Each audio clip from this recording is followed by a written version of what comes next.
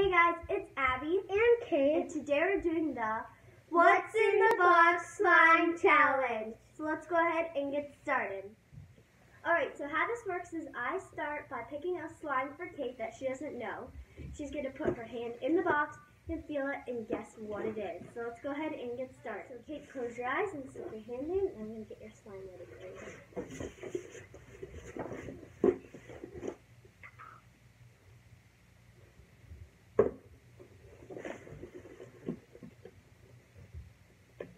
I think this is a pinkish one with that blue. Alright. Ooh, Alright guys, it's my turn, so I'm to start feeling this. Oh. Okay, this is like a that is hot pom. I think this is the one with pom pops and it's like purplish blue. Yeah. Alright guys, so it's my turn to pick for Kate again. Ready?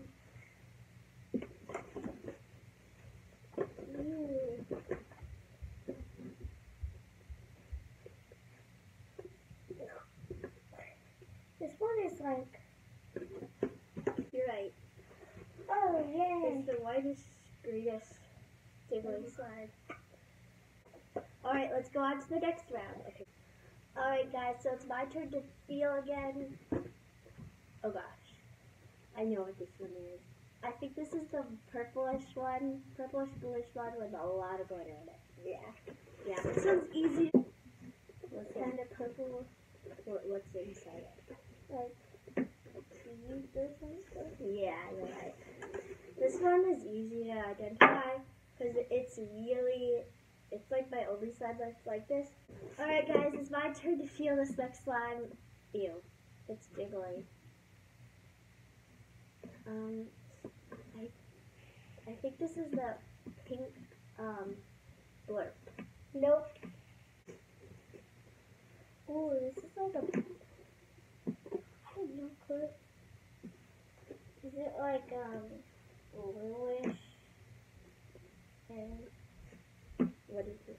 Tell me your time again. I think it's blue with a butter sign. And a butter sign.